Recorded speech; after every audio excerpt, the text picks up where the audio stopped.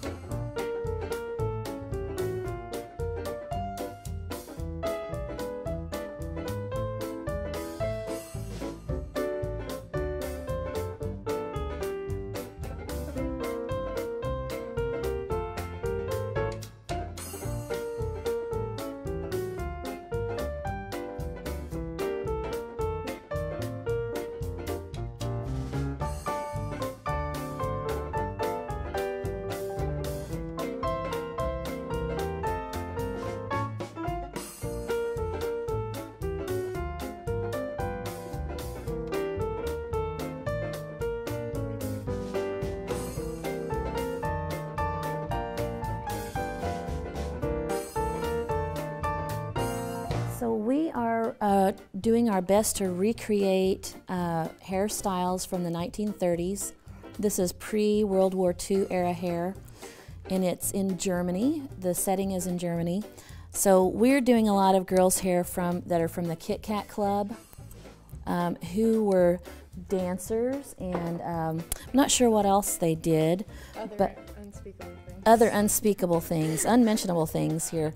But uh, we don't have the products that they had then, but um, I think what, in general what we're trying to do is not use a lot of product. We have to uh, use a little hairspray so it'll last through the show, but we're not using a lot of product, um, and we're doing a lot of things that were waves that might be a little bit of throwback to the 20s because some hairstyles kind of carry over a little bit.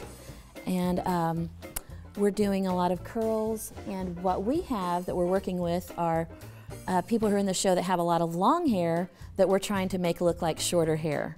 So that either means updos or fake bobs, which is, is really interesting and fun to do. So some of the hairstyles that you will see on stage are not really short hair. They look like short hair, but they're very long hair. So that's, that's one of the things we're doing.